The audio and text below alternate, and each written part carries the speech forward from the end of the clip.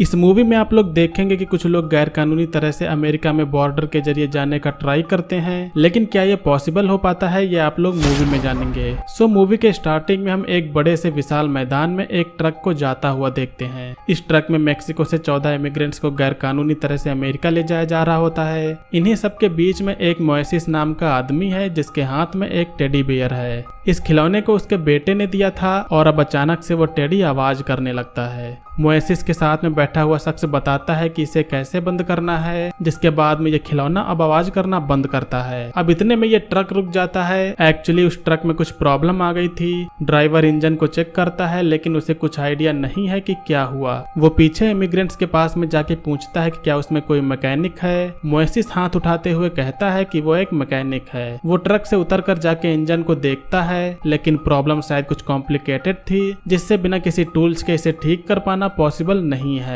जिसके बाद में अब ये सभी लोग बाकी का रास्ता पैदल ही चलने का डिसाइड करते हैं। अमेरिका का बॉर्डर अब भी इनसे काफ़ी दूरी पर है, और वहाँ पर जाना ही इन सब का एकमात्र ड्रीम है। अब इसी दौरान हम दूसरी तरफ़ सैम नाम के एक शख्स को देखते हैं। उसके साथ में उसका डॉग भी है। सैम एक अमेरिकन है, और उसे दूसरे देश से गैर कानूनी तरह से आए लोग बिल्कुल भी पसंद नहीं है, जिससे वो खरगोश के शिकार के बहाने यहाँ पेट्रोल के लिए आता रहता है। इधर ये सभी लोग बॉर्डर पर आने के लिए लगातार आगे बढ़ रहे थे, लेकिन उन्हें तभी गन शॉट की आवाज़ सुनाई देती है, जो इधर सैम ने खरगोश के शिकार के लिए चलाई थी। ये सभी डर जाते हैं और जाके कैक्टस के पीछे छिप जाते हैं। अब जब इन्हें लगा कि वो सेफ़ हैं तो वो थोड़ी देर रुक कर यहीं पर आराम करने का फैसला करते हैं। इस दौरान मोएसिस नोटिस करता है कि एक शख्स अडेला नाम की लड़की को परेशान कर रहा है। एक्चुअली ये शख्स अडेला के साथ ही है, लेकिन फिर भी अडेला उसके साथ में कंफर्टेबल नहीं है। मोएसिस इसे देख के उसका ध्यान भटकाने के लिए उस आदमी के पास में जाके सिगरेट माँगता है, लेकिन उसके पास में सिगरेट नहीं थी और दोनों के बीच के कन्वर्सेशन के दौरान जब यहाँ पर ये लोग सेफ़ अपने आप को पाते हैं तो ये लोग फिर से चलने का डिसाइड करते हैं। इस तरफ़ सैम को रास्ते में एक शेरिफ मिलता है। शेरिफ सैम को रुकवा के पूछता है कि वो यहाँ क्या कर रहा है। सैम कहता है कि वो यहाँ पर खरगोश का शिकार कर रहा है। शेरिफ उससे हंटिंग लाइसेंस माँगता है, लेकिन सैम कहता है कि खरगोश का शिकार करने के लिए कोई लाइसेंस की ज़रूरत नहीं पड़ती है।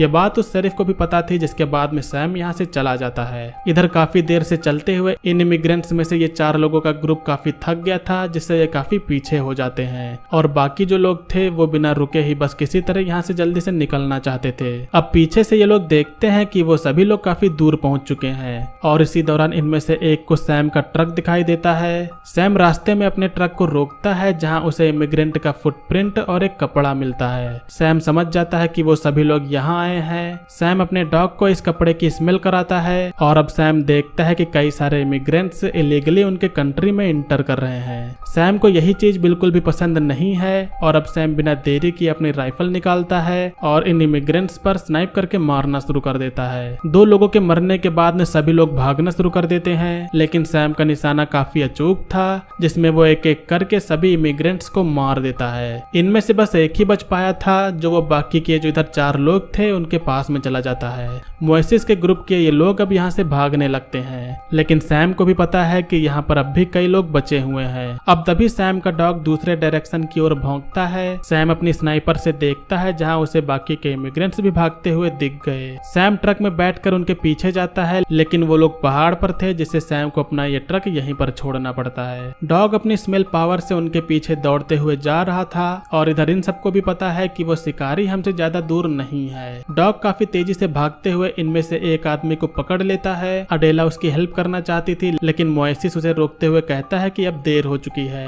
डॉग फिर से उन सभी के पीछे भागता है। ग्रुप में इधर चार लोग बचे थे और वो डॉग से बचने के लिए खड़ी पहाड़ी पर चढ़ जाते हैं, जहाँ वो डॉग यहाँ नहीं चढ़ पाता है, लेकिन वो डॉग अब यहाँ से निकल दूसरी साइड जाके रास्ता ढूंढता है। इधर सैम भी एक पहाड़ी पर चढ़ के इन्हें स्नाइपर से ढूंढ रहा था। ये सभी लोग एक ऊँची चट्टान पर चढ़ जाते हैं, जहाँ अब इन्हें कूद कर दूसरे साइड में जाना था। मोएसिस अडेला और एक और बंदा तो आसानी से कूद जाते हैं, लेकिन लास्ट वाला शख्स डर रहा था। इतने में वो डॉग पीछे आ जाता है, जिससे वो शख्स यहाँ से कूदता है। मगर सही से न कूद पाने के कारण वो चट्टान पर लटक जाता है। मोएसिस उसे बचाने का ट्राई करता है, लेकिन इधर से सैम उसे सूट कर देता है। अब ये बचे हुए तीन लोग यहाँ से किसी तरह से निकलते हैं, और सैम इस जगह के नक्शे को देखते हुए आइडिया लगाने का ट्राई कर रहा है कि वो लोग कहाँ हो सकते हैं। सैम डॉग को बिठाकर एक वैली में ट्रक को ले जाता है, जहाँ ये लोग भी उसी वैली से ही जा रहे थे। डॉग तो फटाक से उतर कर उनकी स्मेल लेते हुए उन्हें ढूँढने लगता है है, लेकिन इधर से मोइसिस को सैम का ट्रक दिख जाता है। वो जल्दी से दूसरी ओर जाने लगता है, लेकिन दूसरी ओर से वो डॉग आ जाता है। डॉग के पीछे से सैम भी आता है और इधर ये लोग पत्थर पर चढ़ने लगते हैं। सैम को तभी एक शख्स दिखाई दे जाता है और वो अपनी स्नाइपर से शूट करके उसे नीचे गिरा देता है। अब सिर्फ़ यहाँ पर दो लोग बचते हैं। सैम बाकी लोगों को भी ढूँढने वाला था, लेकिन अब जल्द ही रात होने वाली है।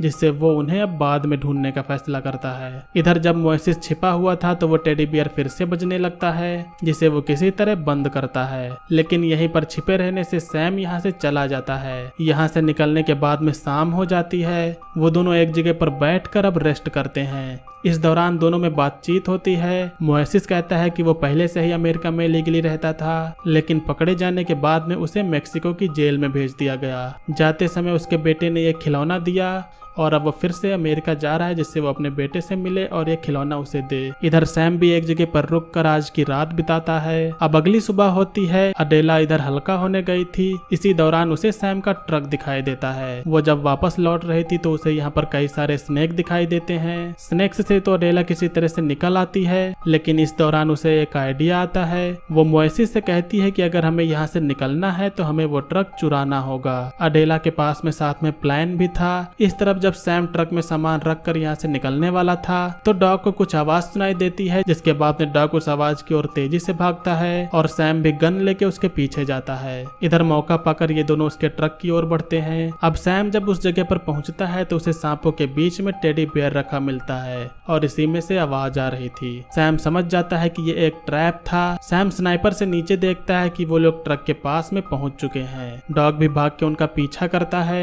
इधर ये ट्रक लॉक था, लेकिन मोइसिस डॉग के आने से पहले इसे किसी तरह खोल देता है। मोइसिस इस ट्रक को ऑन भी कर देता है और अब वो दोनों यहाँ से जाने लगते हैं। इन दोनों को लगता है कि अब तो हम बच गए, लेकिन इसी दौरान अडेला को गोली लगती है, जिससे बैलेंस खोने के बाद में ट्रक पलट जाता है। अब सैम और डॉग दोनों ट्रक की ओर आते हैं, लेकिन मोइसिस जल्दी से अडेला को ट्रक से निकाल के जा चुका था। अब कुछ दूर जाने के बाद में मोइसिस एक जगह पर रुक कर अडेला का फ़र्स्ट एड करता है। मोइसिस को फ़र्स्ट एड में एक फ्लेयर गन भी मिलती है, जिसे वो अपने पास में रख लेता है। मोइसिस को पता है कि अडेला यहाँ से नहीं भाग पाएगी। वो अडेला से कहता है कि अगर मैं यहाँ पे रुका तो मैं भी मारा जाऊँगा। मोइसिस के पास में कोई और रास्ता नहीं था, जिससे वो उसे छोड़ के यहाँ से अब भागता है। इधर सैम और डॉग दोनों को ढूंढते हुए अडेला से कुछ ही दूरी पर आ गए होते हैं, लेकिन दूर जाने के बाद में सैम उन दोनों का ध्यान भटकाने के लिए फ्लेयर गन चला देता है। सैम को पता है कि ये लड़की यहाँ से नहीं भाग पाएगी और वो यहीं मरेगी, जिससे वो उसे छोड़ के मोइसिस के पीछे जाता है। डॉग भागते हुए मोइसिस का पीछा करता है। मोइसिस भी अपने आप को बचाते हुए कैक्टस के जंगल में घुस जाता है। डॉग उसका पीछा करते हुए जस्ट उस पर हमला करने ही वाला था, लेकिन अपने बचाव के लिए मोइसिस उस डॉग पर फ्लेयर गन से फायर कर देता है। मोइसिस अब इसके बाद में यहाँ से भाग जाता है,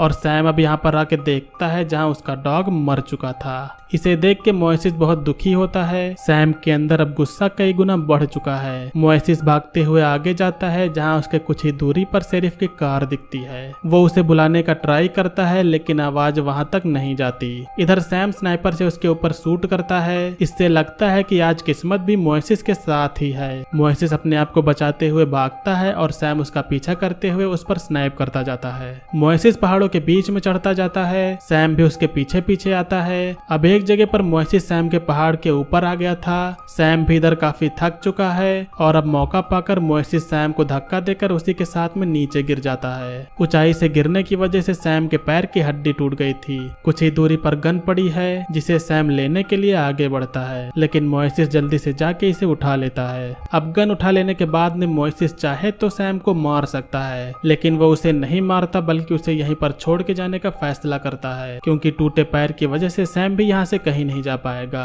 अब मोइसिस इधर से फिर से अडेला के पास में जाता है। अडेला बिल्कुल भी होश में नहीं थी, जिससे मोइसिस उसे यहाँ से उठाकर ही अपने साथ में ले जाता है। सफ़र अब भी काफ़ी लंबा था, लेकिन अब शायद ये लोग अपनी मंजिल तक पहुँच जाएँगे। तो चौदह इमिग्रेंट्स में से सिर्फ़ दो लोग ही बच पाए। ऐसा कई देशों में होता है, जहाँ लोग एक कंट्री से दूसरे कंट्री में इलीगली तरह से आते रहते हैं। कईयों को तो रास्ते में ही मार दिया जाता है। आपको क्या लगता है की इमिग्रेंट्स को अपना देश छोड़ने की क्या ज़रूरत पड़ती है? तो ये थी 2015 की एक थ्रिलर ड्रामा मूवी का एक्सप्लेनेशन मूवी का नेम है डेजियर्टो उम्मीद करता हूँ कि आप लोगों ने मूवी के एक्सप्लेनेशन को एंजॉय किया होगा। मूवी का एक्सप्लेनेशन आपको पसंद आए तो वीडियो को लाइक करिएगा। चैनल पर अगर आप लोग नए हो तो सब्सक्राइब करिएगा। आज की वीडियो के लिए बस इतना ही। मिलेंगे अगली वीडियो में। तब तक के लिए बाय। जय हिंद, वंदे मातरम।